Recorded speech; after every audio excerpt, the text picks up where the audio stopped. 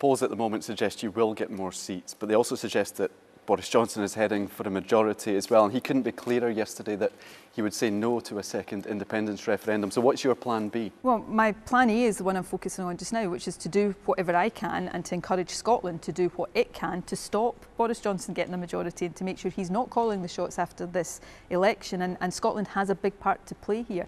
Every single one of the 13 Conservative held seats in Scotland right now has the SNP as the main challenger. So my message to Scotland is let's vote in a way that deprives Boris Johnson of a majority and locks him out of office. And then it's not Boris Johnson that's calling the shots about Scotland's future. You must have a plan B, though, for that scenario. Well, again, you know, if I need it, we'll talk about that after the election. Surely it's not unreasonable to let voters know what you would do in that situation, given that is the way that we seem to be headed. Well, but you're saying that's the way we seem to be headed. You know, there's not, I was going to say there's not a single vote cast yet. I think some people might have started to get postal votes, but, you know, we've got an election. Polls are polls. What matters is how people vote. And we have an opportunity in Scotland to help ensure that Boris Johnson doesn't get a majority. And given how damaging Boris Johnson uh, will be and how damaging certainly a majority Boris Johnson government would be, I think that's what we've got to focus on preventing.